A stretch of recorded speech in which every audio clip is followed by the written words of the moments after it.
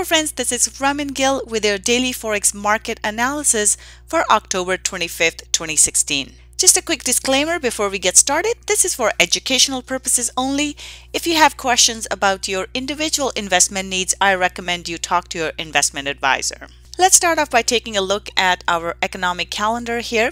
Starting the day off, we have German IFO business climate, numbers for euro at 4 a.m. and then into the US session we have CB consumer confidence numbers for US dollar and then Bank of England Governor Carney speaking at 10:30 a.m. Eastern followed by ECB President Draghi at 11:30 a.m. Eastern. So between 10:30 to about 12 o'clock we can expect a a lot of market volatility, so watch out for that, especially for euro and the pound. In the Asian session, we have Aussie inflation numbers, CPI data coming out at 8:30 p.m. Eastern. Let's move on to the charts now. We're looking at pound US dollar daily chart. Price has been trading in this range for some time now, for quite a few days. At this point, price is staying below the previous support and resistance right here and at this point I expect the price to come down towards the bottom of the range. Looking at Euro US dollar here, we did see the price break down after ECB and since then price has traded lower. We have broken through our 109 resistance level that we were watching. We got a spinning top close for the Euro here. It's an indecision candle. At this point, we are watching the 10900 level. If the price stays below 109, we would look for a move to the downside and our next target is 108.20 followed by 10800 looking at the one hour chart here, we see this 109 level. This is where we are watching for the price to stay below.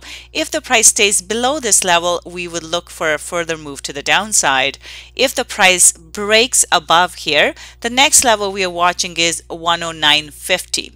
If the price stays below 109.50, again, we are looking for a move to the downside. We could see a pullback either into 109 or 109.50. So we have to be mindful of that and be aware of that. We do have ECB tomorrow, which could cause big moves in the market, so be careful with that one.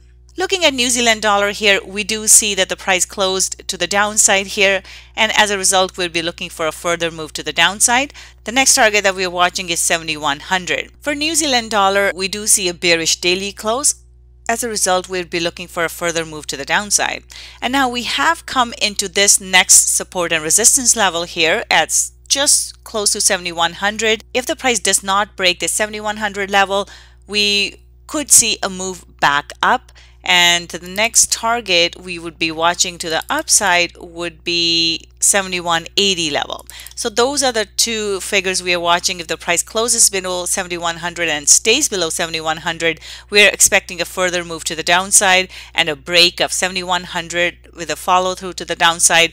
If it fails to break this 7100 level to the downside and instead starts trading up, we could see it go all the way to 7180 level. Similarly for Aussie here as well, we see a spinning top close, which means the price could go in either direction at this point.